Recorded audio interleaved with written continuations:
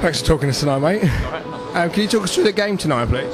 Yeah, I think um, we were slight- slightly short-staffed. Um, wanted to keep things like clog the middle a bit and slow the game down. You know, Peterborough are a very, very fast attacking team, and we tried to slow them down a bit. And I think it worked um, for the majority of the game. Um, Peacock caught us at the end there, um, but I thought it was a really close game. Were you anxious at all coming down to Pe- coming out to Peterborough, I should say, to uh, to play at all? Um, yeah, I'm sure. You know, Peterborough look like they're you know they're at the top of the league. My sort of favourites to win it this year, I think. So you know, obviously you're a little bit anxious, but I've been playing the game for a few years. I, I mean, I don't get too nervous, but I'm sure some of the younger boys would have been a bit anxious tonight. So you're still confident you guys can uh, pull pull together a good run of results and challenge for some honours this season? Yeah, I mean that was a cup game as well. I think we've got one more game against Telford, and I think that'll be a little bit of a cup final to get through to the semi-finals. Um, but no, you know the performance was better, and that's what we're looking for—a bit more consistency in our performance. Yeah. I mean, you mentioned already they had a bit of a short bench tonight. Both teams seemed a little off the pace tonight.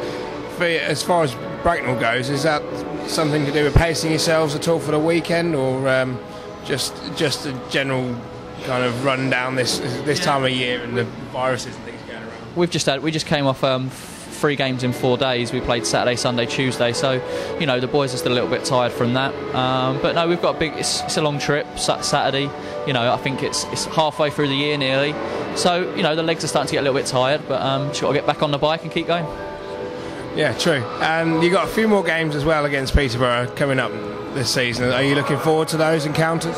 Yeah, I love playing Peterborough. You know, they're a clean, you know, they're playing hockey how it should be played. Um, it's always played in very good spirits, um, and it's a, you know, really, it's been two quite close games. So yeah, I'm really looking forward to it. And thanks for talking to us, Adam. Cheers. Very much.